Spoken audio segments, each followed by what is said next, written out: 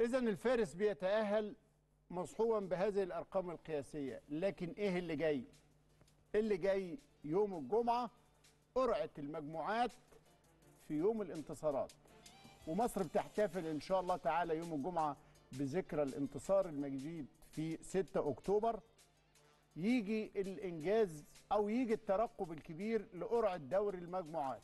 دور المجموعات في دوري الأبطال وفي الكونفدرالية القرعة هتتعمل في جنوب أفريقيا يوم ال- الجمعة إن شاء الله 6 أكتوبر الساعة الثانية ظهرا.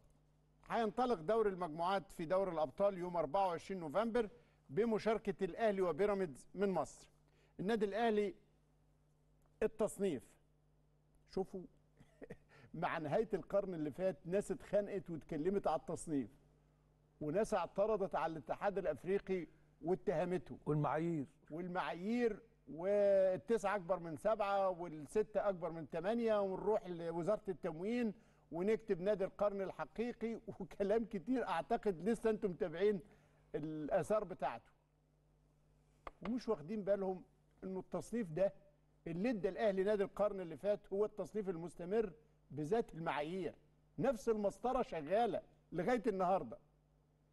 بعد 21 ولا 22 سنة من القرن الجديد هي نفس المسطرة اللي معترضين عليها شغالة والكل ملتزم بيها بس ما حدش بيتكلم. وفقا لهذا التصنيف وبذات المعايير أعلن الأهلي على قمة تصنيف الفرق المتأهلة لدور المجموعات في دوري الأبطال بحصوله على 83 نقطة في آخر خمس سنوات. يعني لما تدي نقاط بنفس المعايير على آخر خمس بطولات آخر خمس مواسم يأتي الأهلي الأول برصيد 83 نقطة اللي بيليه الوداد المغربي 74 نقطة ثم الترجي التونسي 58 نقطة ثم سان داونز الجنوب أفريقي برصيد 56 لتكون هذه الفرق الأربعة على رأس التصنيف. يعني القرعة يوم الجمعة الأهلي أول الأوائل ثم الوداد ثم سان داونز والترجي. الأربع فرق دول هم اللي هيتحطوا وفقا لهذا التصنيف بهذه ال- ال- النقاط على رؤوس المجموعات الأربعة. وبعد كده مفيش كور سخنة وساعه هتسحب من كل آه، آه، تصنيف فرقة. فالتصنيف الثاني شباب بلوزداد الجزائري وسيمبا التنزاني. شباب بلوزداد عنده 36 نقطة وسيمبا التنزاني 35 بيراميدز 35 بترو أتلتيكو الأنجولي 33 ونص. اذا في التصنيف الثاني هتاخد واحدة من كل فرقة من الفرق الأربعة في التصنيف الثاني تروح. يعني الأهلي ممكن يجي معاه بيراميدز وممكن يجي معاه سيمبا وممكن شباب ممكن نتوقف هنا لحظة. وممكن بترو اتلتيكو آه. عشان المعايير. أيوه بيراميد اتوجد إزاي في التصنيف يخص المستوى الثاني؟ لا يخص بطولة الأبطال. آه. هو شارك في الكونفدرالية. فخد نقط. ما شاركش خالص في أول مرة شارك في في دوري الأبطال. مش كده؟ آه. اذا المعيار اللي دخل بيراميد إيه؟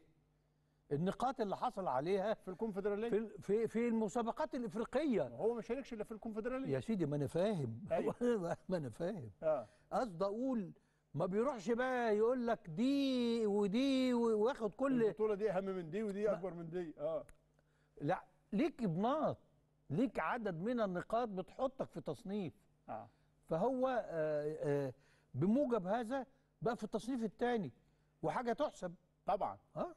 طيب التصنيف الثالث هتاخد واحدة من مازيمبي الكونغولي اللي عنده 30 نقطة ونص الهلال السوداني آه، 27 نقطة ويانج أفريكانز التنزاني 20 نقطة وأسيك ميموزا الإيفواري 20 نقطة. يعني الأهلي هيتحط معاه واحدة من دول مازيمبي والهلال ويانج أفريكانز. وأسيك ميموزا. التصنيف الرابع والأخير النجم الساحلي التونسي عنده 20 نقطة. آه، جوانينج جالاكسي البوتسواني عنده أربع نقاط. نوازيبو الموريتاني عنده نقطة واحدة. مدياما الغاني بدون رصيد. دي مشاركة جديدة بالنسبة له. إذا الأربع فرق في هذا التصنيف هيتوزعوا على المجموعات الأربعة. في يلفت ملحوظة. نظرك آه. مم. في ملحوظة انه شباب بلوزداد هيلعب النهارده في ملعبه مع آه، بو رينجرز بطل سيراليون فاز في الذهاب بسيراليون 3-1 يعني الفريق الجزائري فاز بره الأرض 3-1 فأصبح مرشح بنسبة كبيرة لدخول ال- دوري المجموعات. حال عدم ترشحه هيصعد مازيمبي للتصنيف الثاني بقى. يعني لو شباب بلوزداد خرج رغم فوزه خارج الأرض 3-1 يبقى مازيمبي هيتحرك للتصنيف الثاني ويبقى النجم الساحلي يتحرك للتصنيف الثالث ويدخل بو رينجرز للتصنيف الرابع. ده وفقا لنفس المعايير اللي الناس اتكلمت عليها. طبعا الاهلي اتاهل على حساب سان جورج الأثيوبي والاهلي تقريبا صاحب أعلى فوز يعني 7-0 في هذا الدور. الاهلي هو صاحب الحصاد الأعلى بين الفرق اللي اتاهلت لأن الوداد المغربي وصيف الأهلي في البطولة الأخيرة تخطى هافيا كوناكري الغيني بالفوز 3-0 وخسارة بهدف. الترجي اللي أعلن النهارده على آه، مدربه اللي كلنا عارفينه معين الشعباني أعلن النهارده تركه للعمل مع الترجي وإدارة الترجي بتبحث عن مدرب جديد بعد اعتذار الشعباني. الترجي اجتاز آه، دوان بطل بوركينا فاسو فاز عليه بره الأرض 1-0 واتعادل في تونس بدون أهداف. هي ديت الأريحية بقى والاطمئنان. يعني واضح إن الترجي كسل كسب بره 1-0 راح جاي متعادل في ملعبه 0-0 صن داونز الجنوب أفريقي تخطى بمامارو البوروندي فاز عليه بره الأرض 4-0 لكن في في جنوب أفريقيا فاز 2-0 فقط.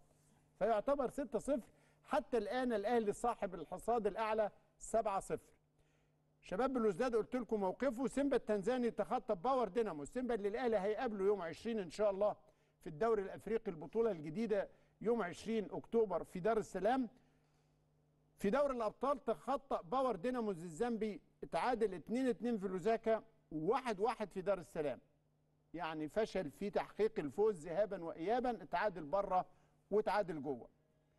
بس نتيجة تعادله 2 2 بره رجحت كفته أيوه. بيراميدز تأهل بالفوز على الجيش الرواندي 6-1 بمجموع المباراتين بعد التعادل بره بدون أهداف وفاز هنا آه 6 بترو أتلتيكو تأهل على حساب أونياو دوسونجو الموزمبيقي بالفوز ذهابا 2-1 خارج ملعبه وايابا 3-1 مازيمبي الكونغولي تأهل على حساب نياسا بيج بوليتس بطل ملاوي بالفوز مرتين 1-0 و4-0 الهلال السوداني تأهل على حساب أول أغسطس الأنجولي بالتعادل بدون أهداف في لواندا والفوز 2-1 في المغرب.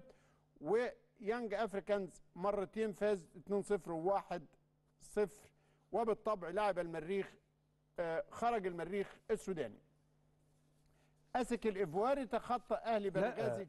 ال- ال- المريخ خرج؟ آه. هو يانج افريكانز كان بيلعب المريخ. مم. آه، شباب بلوزداد النتيجة حتى الآن؟ انتهت 3-1 وتأهل رسميا شباب بلوزداد. طيب الأسك الإيفواري تخطى أهلي بنغازي الليبي فاز 2-1 بعد التعادل بدون أهداف في ليبيا. النجم الساحل التونسي تخطى الجيش الملكي المغربي واحد من الفرق القوية آه، بطل الدوري المغربي الموسم ده- اللي فات. دي نتيجة مهمة. لسه كنت هقول لك. كانت أقوى مباراة بين ال- ال- الجارين الحقيقة. النجم الساحلي فاز في سوسة 1-0 وفاز 2-1 كمان. شوف مم. أنا اندهشت جدا جدا من مفارقة إن النجم الساحلي تصنيف رابع. مم. لكن اكتشفت إن هو عنده 20 بونت زيه زي بتوع التصنيف الثالث النجم الساحلي يظل واحد من الفرق التقيلة اللي تشال همها. والنتيجة مع الجيش الملكي بتقول كده. يعني يعني بطل المغرب يعمل انت بتعمل معاه كده ما مفاجأة. تعتبر يعني مش